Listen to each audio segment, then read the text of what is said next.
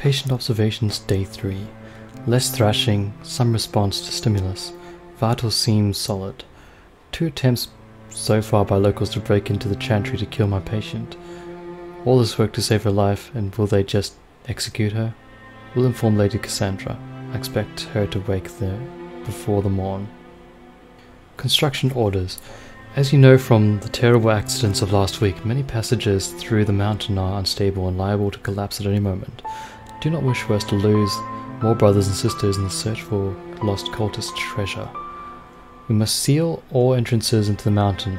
The Templars have done a careful sweep of the caves. Everything of worth was collected. What remains of the disciples of Andraste will be forgotten, buried in the earth.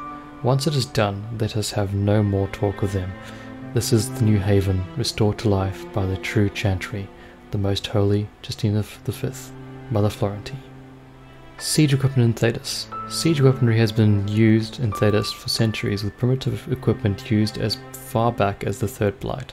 Nevertheless, it occupies a peculiar niche in the tools of warfare due to its requirements. Any army wishing to produce trebuchets or catapults must be funded and organized well enough to procure both the necessary materials and the military expertise to construct them. Throughout history, most armies who fulfilled such requirements did not take advantage of the, situ- of the situation. During the Third Blight, for example, Alesians and Montesimid constructed catapults to fling flaming debris at the Darkspawn, but the expense of the weapons did not justify the limited damage they caused, and the Darkspawn were ultimately driven back by the Grey Wardens, not siege weaponry. Tevinter forces similarly similarly had the resources to construct siege weapons when attacking the free mar- marchers or defending themselves against the exalted marchers of the Black Age. Instead, the Emperor focused primarily upon the power of its magisters, who were less powerful but more flexible than siege equipment, and who could more easily fall back when the tide of the battle turned. As a result, in the battles against the Qunari in the Steel Age, generals found there, to their chagrin that the great Oxman had left them behind. Qunari black, black powder is, most military experts agree, not magic. It is merely an advanced alchemy that makes their cannons more effective than any trebuchet could ever be. Nevertheless, there remains hope. As centuries have passed since the last blight, the mages are now safely held in the circles where they harm no one. The experts of the Ferelden and Orlus may once again turn their great minds to learning. We need no magic, not where the minds of men survive, unfettered with our resources and our commitment to, commitment to knowledge. We can easily surpass the brutal Qunari in the field of battle. From the Quin Guras and Steel military conflict in the post-Blight Thedas, written 929 Dragon, shortly before the start of the Fifth Blight. Josephine Montilyet, Seeker Cassandra, Josephine Montilyet is a noble from the nation of Antiva. She was dedicated, educated in the Val Royeaux, where she built connections among the court. Once she finished her schooling at a surprisingly long young age, Lady Montilyet became the official diplomat between King Filigino and Antiva, the Empress Celene of Orlus. The appointment suits her. She is well traveled, familiar with many forms of etiquette, and by all accounts a skilled negotiator. It is if that endorsement does not suffice, Josephine is a personal friend. I have faith in her. We require someone with both influential and trustworthy to be an ambassador for the Inquisition. You cannot tell me who you would prefer to take the job yourself, Sister Leliana.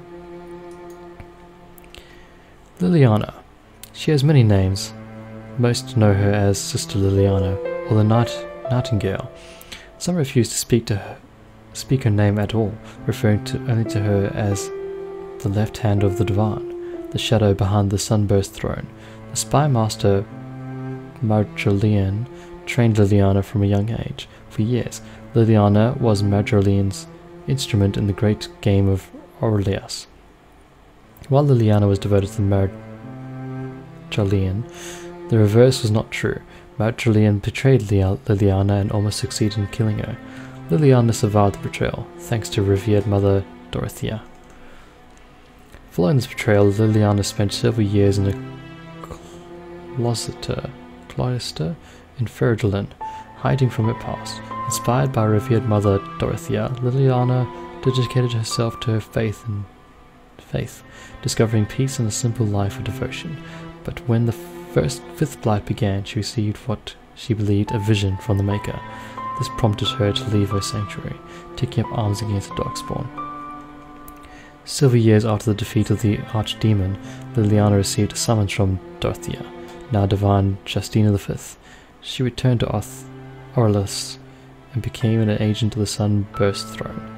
Justinia perished in the explosion that destroyed the Divine Conclave, and Leliana became a founding member of the, and spy master of the new Inquisition. The Pride Demon. The most powerful demons yet encountered are the Pride Demons, perhaps because they, among their, their kind, most resemble men, as clever and, manip and manipulative as the Desire Demon, with a pinch of cruel irony that is almost human. While the demons of desire largely engage in bribery of mortals, pride will use mortals' own best nature against them. Clever men outwit themselves, strong men crush themselves, humble men forget themselves, jealous men fear themselves. They turn corruption and ruin into an art. From the beyond the veil, spirits and demons by the chanter Murdomal. Blood Lotus, do not try to get out of this. We were told you were the best. That is why you have been contracted. What is not you who was it not you who obtained the 200 white blooming rose bushes for the Empress Winter Ball last year? The Comtesse has been initially patient till now, but she doesn't understand why it is hard to fill the garden pool. She wants more, no more excuses, and no, she will not compromise with the dawn lotuses. They're white. The flowers have to match the silk canopies. It is crucial. Dark purple, dark red. Do not try to frame this as a safety issue. The guests will be perfectly safe. Why, if they experience any hallucinations from the concentration of lotus essence in, in the air, I'm certain I will only it will only make the evening more thrilling. I don't care if you have to send someone to Frodelin Pete Bog to get it all, just do it. A note from Chamberlain Laurent to Grand Gardener Umbert Valakon over the decorations for the Commontees to Andra's summer garden party. According to the Gossip and Val the Chamberlain did succeed in convincing Grand Gardener Valakun Vauclane to provide 420 lotus plants. The party was considered by most to be a roaring success, even though the evening concluded with, with at least 12 guests asleep on the lawn, 3 in the pool, and one lady losing several teeth trying to take a bite out of a marble statue at the Comtese's, of the Comtese's father, which she was convinced was made of cake. Ripple Mages. Whereas a circle was established not merely to protect the world from mages, but also allow mages to practice their, practice their art safely and without fear, and, whereas under Lord Seeker's Lambert's command, Templars sworn to protect all people, including mages, from the harmful effects of magic, have instead persecuted mages with such biased judgment as to worsen the problems they were meant to imagine, and, whereas the right to tranquility intended as a tool of res- last resort to stop uncontrolled mages from hurting themselves or others, as instead has instead been used for punitive and political purposes to silence dissent and inhibit civilized discourse, and whereas Andrastate herself intended the relationship between the mage and the Templar be one of the practitioner and protector, not a prisoner and jailer, not prisoner and jailer, and this contract has been broken, leaving mages to fear for their lives from those sworn to protect them. Now, therefore, the Circle of the Magi declares the following we, the mages of Ferdinand and Orlas, do hereby dissolve the circles and renounce our sworn submission to the order of the Templars, effective immediately. We reiterate Andrastate's assertion that magic was made to serve man, not rule over him, and state unequivocally that we will use our abilities only to defend ourselves from those who would see us relinquish our lives and freedoms under the presumption of guilt for crimes we have not committed. We condemn those practitioners of magic who, through illness of mind or understandable but misguided anger at those who oppress them, would use their magic given powers to threaten innocent lives, and we pledge to aid any legitimate and impartial government in bringing these lawless apostates to justice. We look earnestly to, to a future of cooperation between all people of Thedas, free from persecution and prejudice, and hope to build a better world alongside all who approach us with friendship instead of fear. Yours in, yours in service to Anjustate and the Maker, the Free Mages of Thedas, a leaflet distributed in towns and villages across the Aulas and Ferelden. The Templar Order end of an accord, most holy, the Seekers are well, aware of the part you played in the rebellion. You call me the Grand Cathedral in the middle of the night, on urgent business only to speak of trivial matters, and then, when I return to the White Spire, I discover chaos, and one of your agents in the midst of the apostates.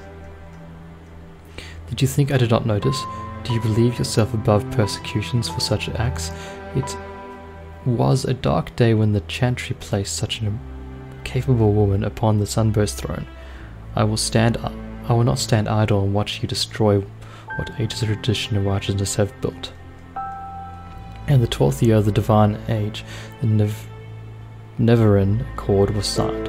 The Seekers of the Truth load our banner and agreed to serve as the Chantry's right hand, and together we created the Circle of the Magi. With the Circle no more, I hereby declare the Accord null and void. Neither the Seekers or the Truth nor the Templar Order recognize Chantry authority, and instead we will perform the Maker's work as it was meant to be done, as we see fit. Signed this day on the fourth, 40th year of the Dragon Age, Lord Seeker Lambert Van Rees. Letters sent to Divine Justina from former Lord Seeker. Templar Order Traditional Role often portrays as stoic and grim, the Order of the Templars was created as a martial arm of the Chantry, armed with the ability to dispel and resist magic in addition to their formidable combat talents.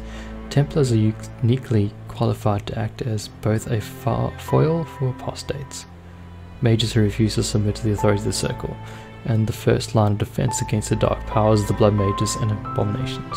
While mages often resent the Templars as symbols of the Chantry's control over the magic, the people of Thedas see them as saviors and holy warriors, champions of all that is good, armed with piety enough to protect the world from the ravages of the foul magic. In reality, the Chantry's militant arm looks first for skilled warriors with unshakable faith in the Maker, with a flawless moral center as a secondary concern.